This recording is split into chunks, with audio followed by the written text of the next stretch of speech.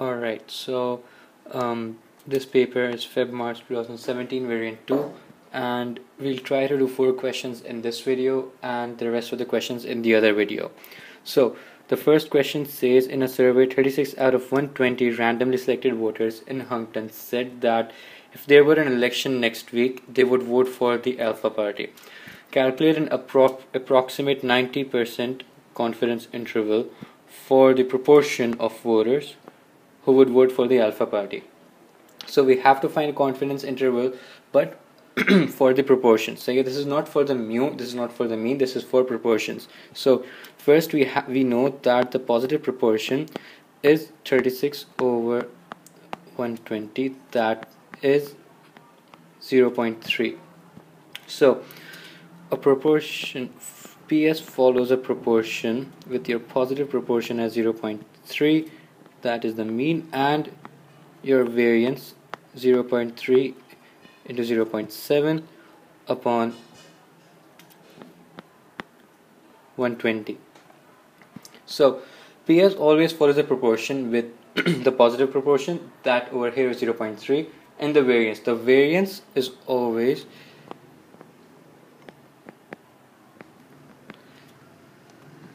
P 1 minus P upon n so yeah and our confidence interval is 90% that means k this is the region of p.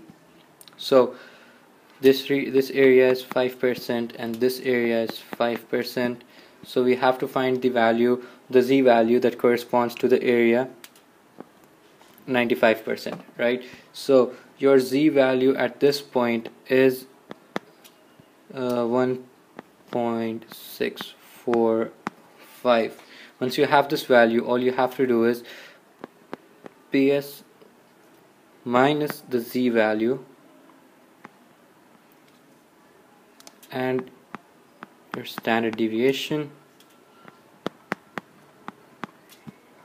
Ps plus the z value and the standard deviation your PS over here is 0.3 your Z value is 1.645 the standard deviation will be 0 root of 0.3 into 0.7 upon 120 same over here 0.3 plus 1.645 root of 0.3 into 0.7 upon 120 so yeah so this is how you solve this question and your answer will turn out to be 0.231 and be less than 0.369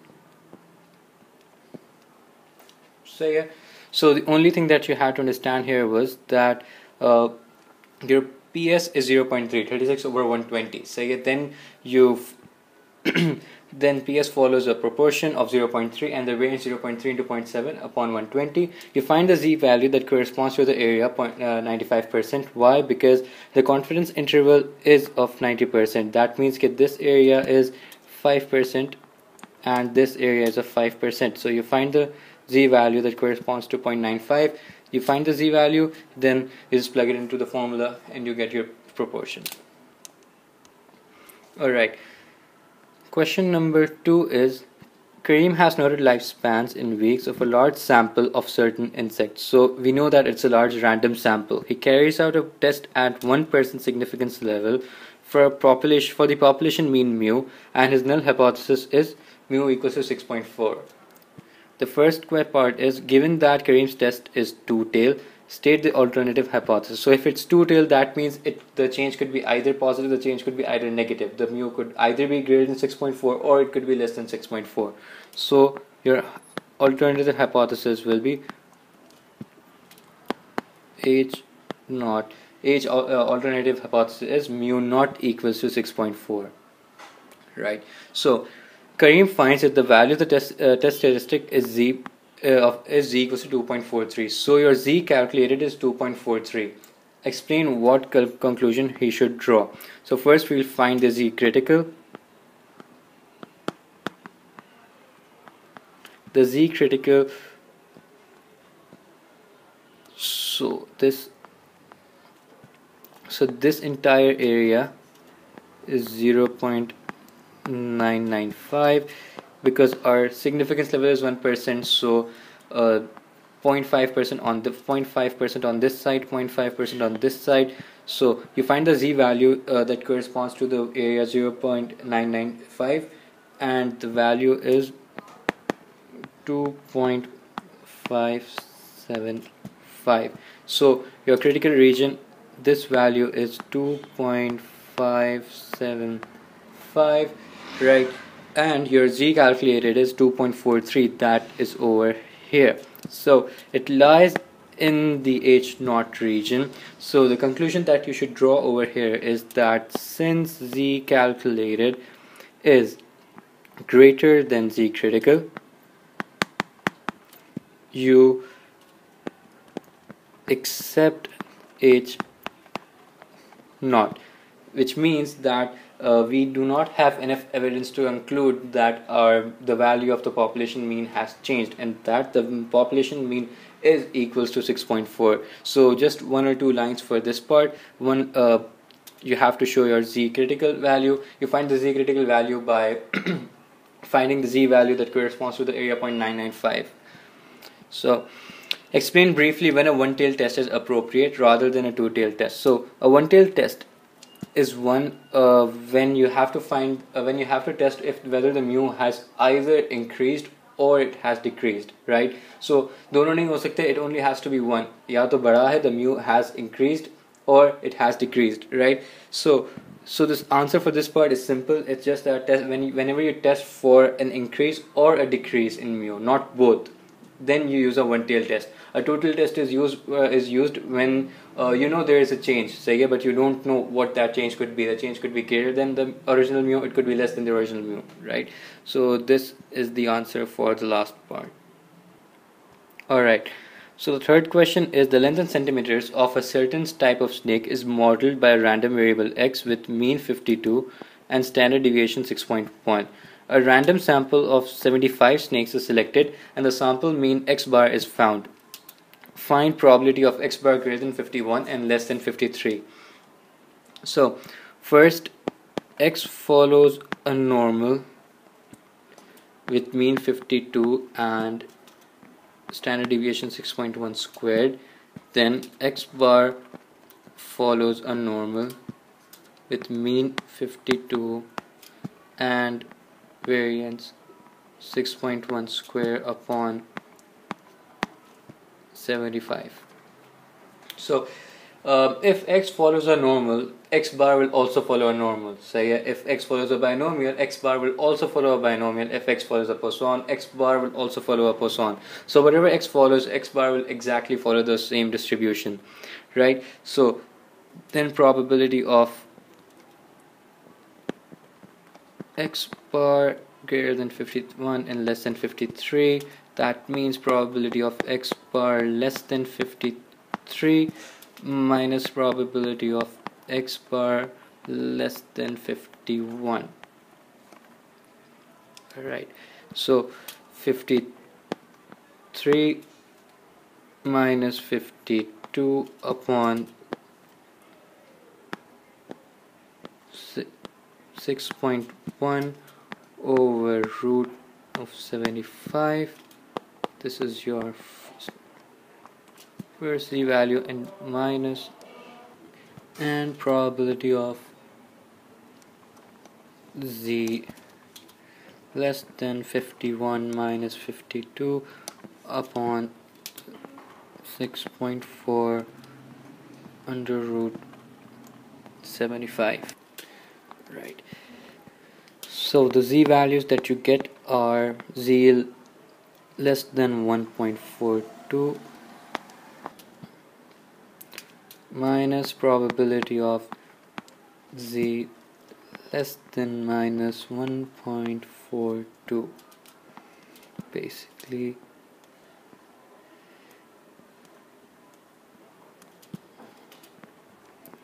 minus 1.42 1.42 it's basically this region that you have to find use a calculator or the table to find the values and the values turn out the probably turn out turns out to be point 0.844 so yeah okay the last part says explain why it was necessary to use central limit theorem in the solution to part 1 say yeah so uh, एक तो ये कि the question didn't identify uh, it's modeled by which uh, x follows which distribution it just said that a certain type of snip the lengths are mo is modeled by a random variable x with mean 52 and standard deviation 6.1 Say we didn't know uh, what was the kind of distribution that x follows.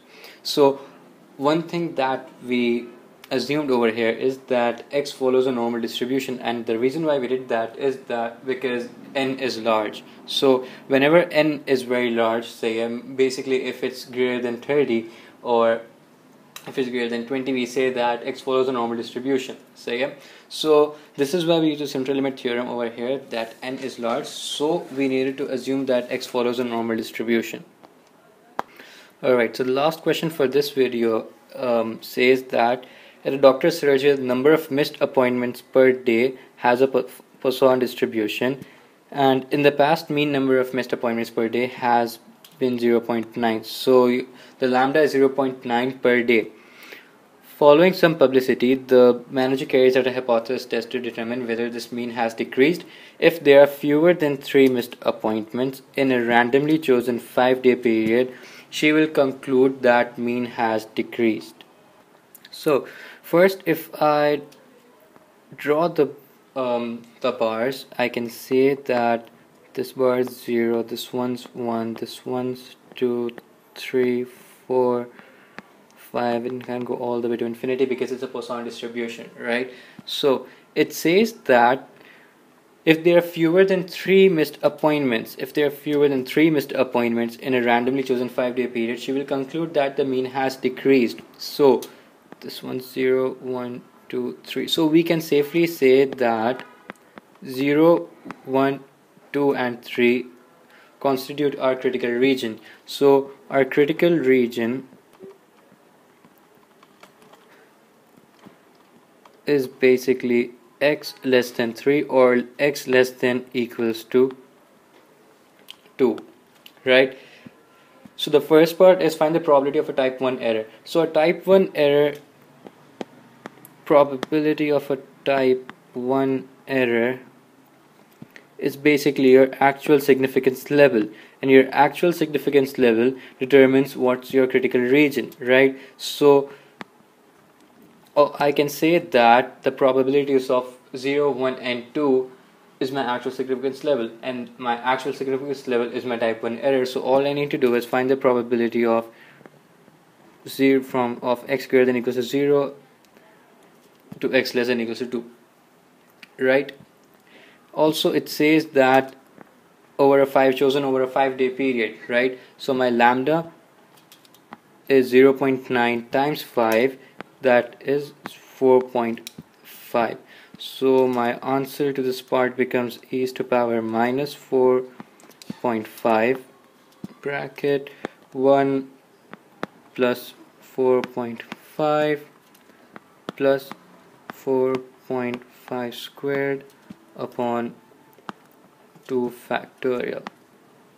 right and when you solve this entire function the answer will turn out to be 0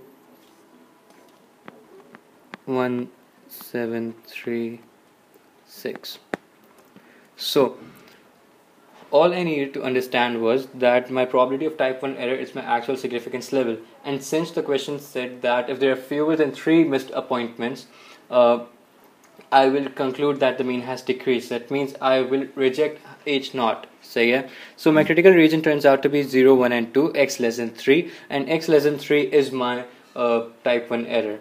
So yeah. The next part is state what is meant by type 1 error in this context. So, yes, so the question is asking you the answer in the context of the uh, in the con uh, context of the scenario. So, uh, we'll say that accepting that lambda has decreased in that is the number of missed appointments has decreased while that is not true. So, so we are rejecting h naught we are saying that the number of missed appointments has the mean number of missed appointments has decreased right when that is not true. So for one mark this is what you're going to write over here.